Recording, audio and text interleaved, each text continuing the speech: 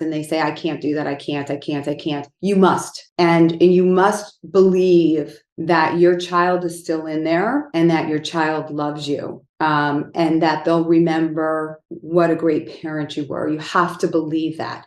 Parents these days think that they're supposed to be friends with their kids. You're not. You're supposed to be the parent. When they're older, you get to be friends with them, and it's really awesome when they're adults.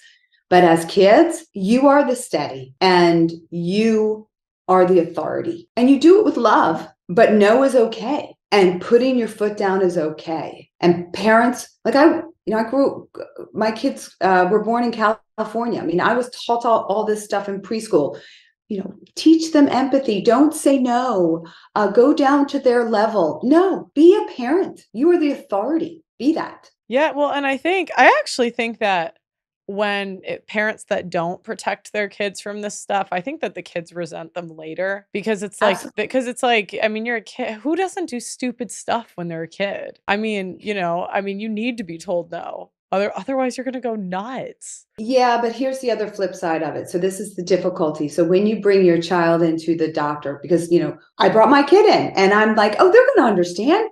They've known her since she was two.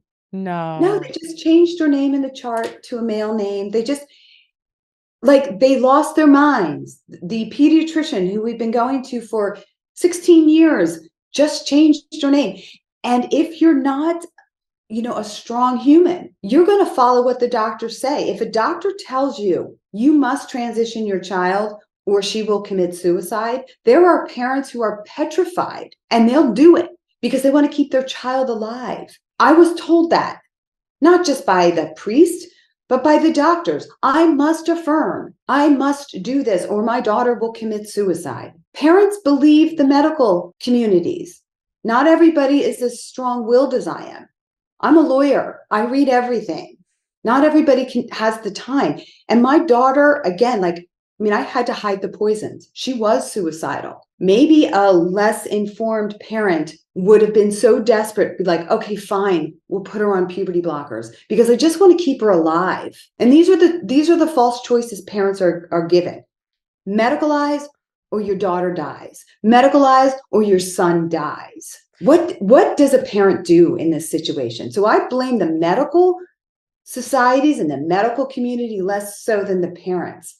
Because the parents are given one treatment and that is to trans their kids. One only. And if you're going to the school and they